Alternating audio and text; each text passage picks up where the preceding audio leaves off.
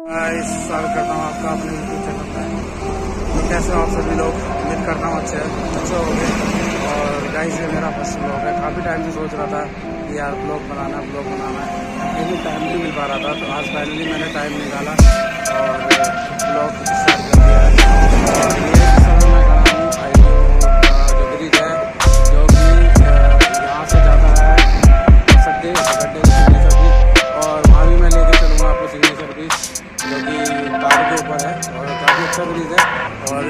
पहले मैं आपको दिखाना चाहूँगा, ये जो सामने है, ये ये स्टेडियम है। और मैं स्टेडियम में ठीक सामने ही खड़ा हूँ और आपको दिखाता हूँ, ये जो जिस ब्रिज पे भी खड़ा हूँ, मैं वो ब्रिज भी काफ़ी लंबा है। और जैसे मैंने अभी बताया आपको कि ये ब्रिज बस अड्डे से होता हुआ करनाल बाईपास तक जाता है। और ये देखिए ये है गाइस एक चीज़ और बताना चाहूँगा आपको मैं। कि आज मैं शूज़ लेके आया हूँ शूज़ तो अभी मैं इसको अनबॉक्स करके दिखाऊँगा और बताना कि कमेंट में बताना यार कैसे लगे। ठीक है? और मैं इसकी अनबॉक्सिंग कर रहा हूँ के शूज़ हैं यार आउटलेट गया था वहाँ से लेके आया था।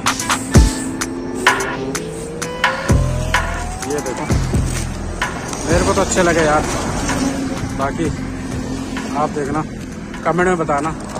चलो गाइस फिर चलते हैं। मैं आपको लेके चलता हूँ सिग्नेचर ब्रिज फिर वहाँ जाके फिर बताता हूँ आपको सिग्नेचर ब्रिज के बारे में। तो गाइस चलते हैं।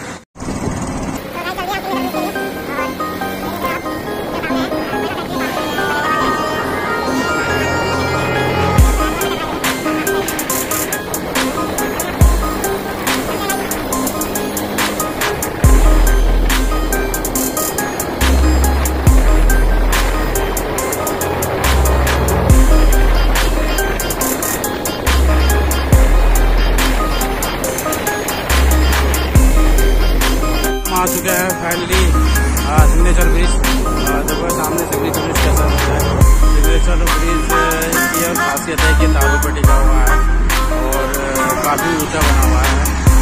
और एक चीज़ और बताना चाहूँगा सिग्नेचर ब्रिज के बारे में, कि भाई, ये जो सिग्नेचर ब्रिज है, इसको बनाने में कम से कम दस साल लग गए। और उस समय हम भी काफ़ी छोटे थे। मान लो कि हमने इस सिग्नेचर ब्रिज को देखते देखते बड़े हुए हैं। आज का मौसम भी देखो कितना बढ़िया हो रहा है।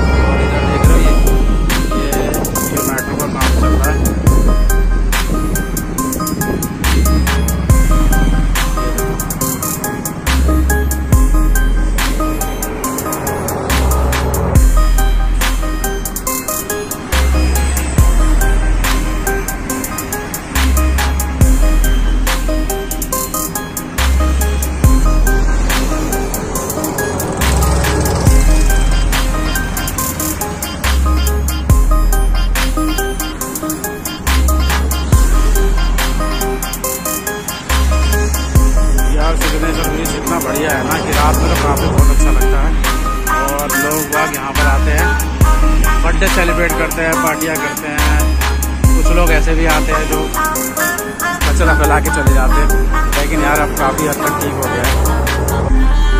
देख रहे हो ना कितनी साफ़ सफ़ाई है।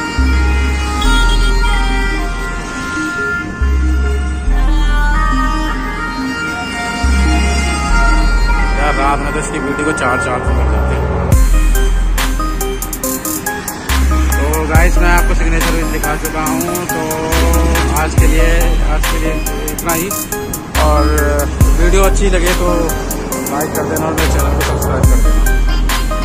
ओके, आगे मिलता हूँ फिर आपके अपने अगले ब्लॉग में। और ऐसे ही आप अपने भाई को सपोर्ट करते रहिए और ऐसे अच्छे अच्छे ब्लॉग्स में लेके आता रहूँगा।